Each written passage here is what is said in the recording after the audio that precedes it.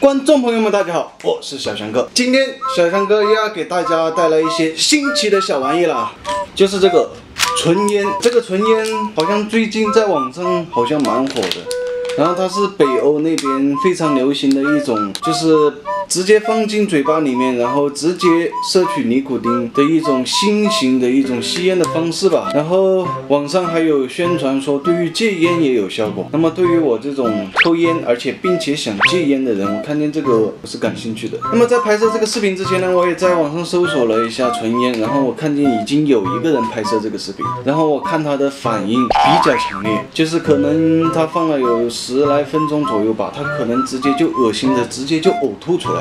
所以待会儿我在试这个东西的时候，如果稍微有点不适应，我就想要把它吐出来了，因为我不想当着观众的面呕吐出来，我又不会打马赛克，对吧？那如果呕吐出来，那搞不好会取消关注。然后为了我的这个人身健康着想，我也在网上搜索了很多这个纯烟的资料。那么它是据说呢，是比普通吸烟的危害要小，因为它没有燃烧的那种呃烟的那种物质。我又看很多人试过这个东西的人，他们又说反应会很强烈，刚放进嘴巴里面就受不了，感觉就像。比吃槟榔还难受，就是往上顶会，然后四肢无力、瘫软无力，然后会让人呕吐，可能有三四个小时都还没缓过神来。所以在我们还不知道它的危害到底有多大之前呢，那不管是小孩还是大孩。都请勿模仿，好吧？废话有点多，废话有点多。好的，那我们废话不多说，我们直接开始。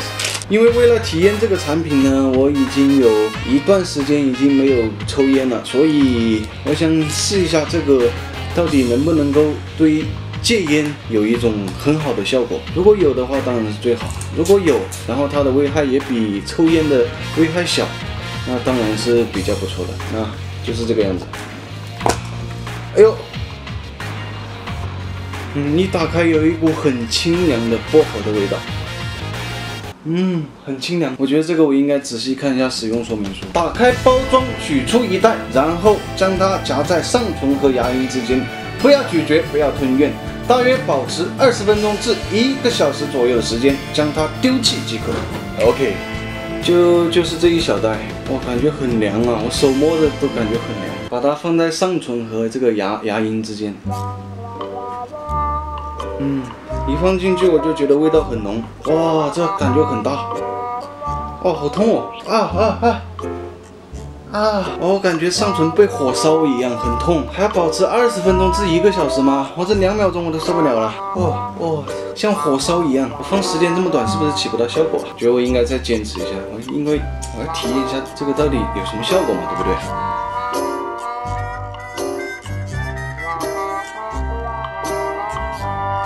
还是很很有感觉，放进嘴巴里面，首先是有一股清凉的感觉，然后就是有一种被火烧、被针扎的那种感觉。这个上唇就是上唇真的很难受，然后还在不停的分泌唾液，分泌出来唾液还有点咸。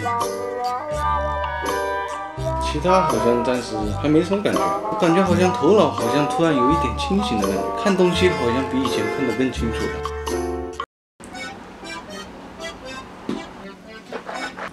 好了，观众朋友们，我差不多已经放了二三十分钟左右，好像没有什么感觉。我之前在网上看他们，觉得他们很夸张啊，为什么我什么症状都没有？有可能是我平时抽烟太多。如果不抽烟的人。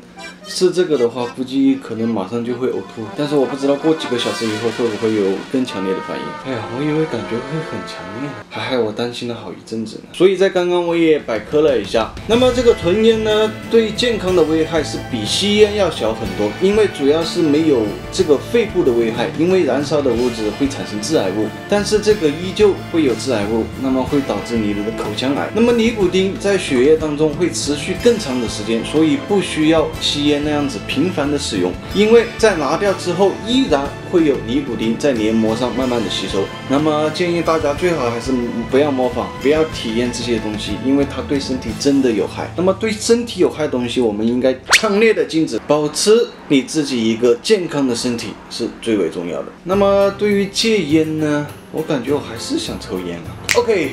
那现在就先到这里，如果待会儿还有什么反应的话，我再告诉大家，好吧？好的，观众朋友们，现在已经过去两三个小时了，我还是没什么反应。现在我已经来到了这个机场，因为要接一下奶奶。然后建议大家还是不要使用这个，它始终还是有危害。不过就是没有我想象中的那么夸张，没什么反应啊，还是有点失败。但是没有关系，那始终我身体没有这么难受，对吧？所以我们下期见，再来个见。过来嘛，看注意车哦。我们也要下去。啊，要下去。